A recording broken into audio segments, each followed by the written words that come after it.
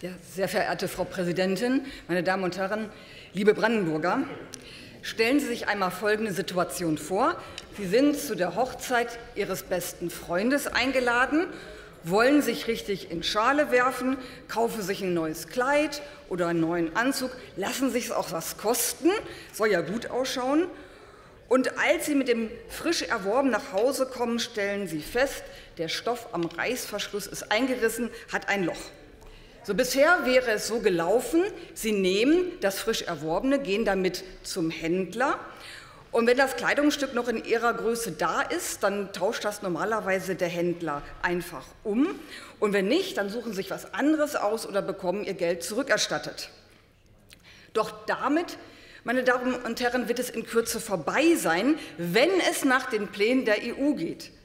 Denn die neue Reparaturrichtlinie sieht etwas ganz anderes vor. Ist der Schaden niedriger als der Neuwert, muss das Produkt repariert werden. Ein Umtausch wäre ohne weiteres nicht mehr möglich.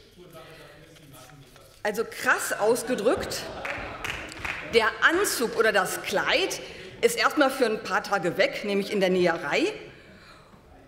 Und nein, Sie zahlen dann auch noch einen hohen Neupreis für etwas Repariertes. Nicht, weil sie so etwas so wollen, sondern weil ihnen das EU-Bürokraten vorschreiben. Und die damit auch noch den deutschen Verbraucherschutz aushebeln. Die geplanten Regeln betreffen alle langlebigen Produkte, das heißt alles, was Sie nicht aufessen oder sofort verbrauchen können. Das heißt, wir reden hier von Autos, Kleidung und alle möglichen Geräte. Bei denen können Sie sich zukünftig nicht mehr sicher sein, etwas Neuwertiges zu bekommen, auch wenn Sie es ausdrücklich wünschen und dafür einen hohen Neupreis bezahlen. Das deutsche bürgerliche Gesetzbuch sieht bislang folgende Regelung vor. Jeder Verbraucher, der eine defekte Ware erhält, kann sich bisher entscheiden, entweder für eine Reparatur oder für einen Ersatz. Und diese Verbraucherschutzregeln sollen jetzt fallen, und zwar zu Lasten der Bürger und zu Lasten der Freiheit. Brüssel gibt mal wieder den Kurs vor in eine Richtung, die wir alle zu Genüge kennen, nämlich Gängelung Einschränkungen und Verbote.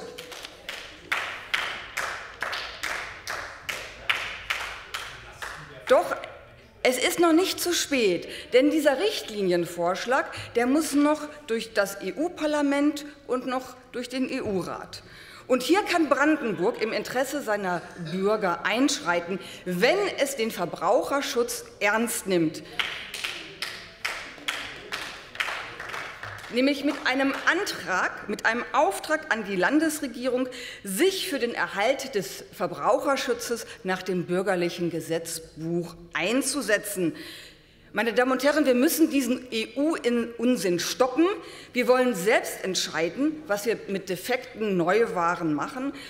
Wir wollen kein EU-Diktat. Vielen Dank.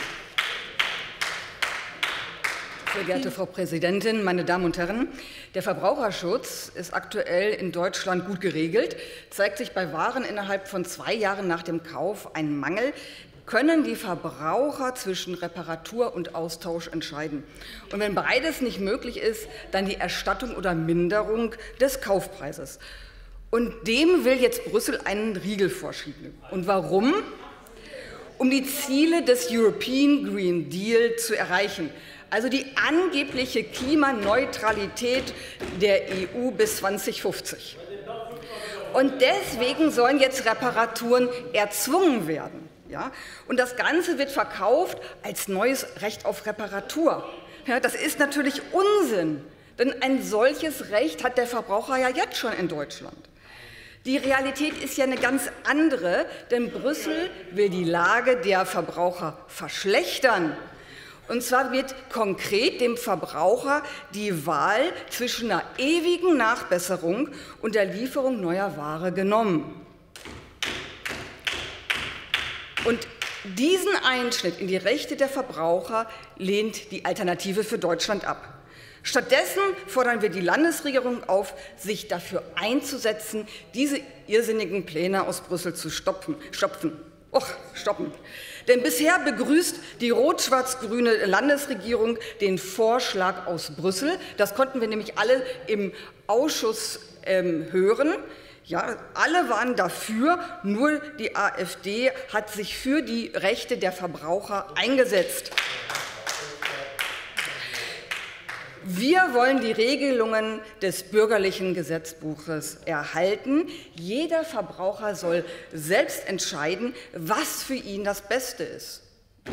Wer, wer eine Reparatur will, der soll sie erhalten.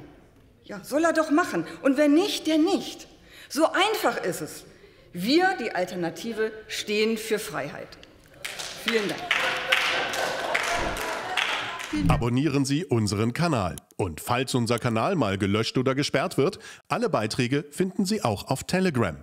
Die Links sind unten in der Videobeschreibung.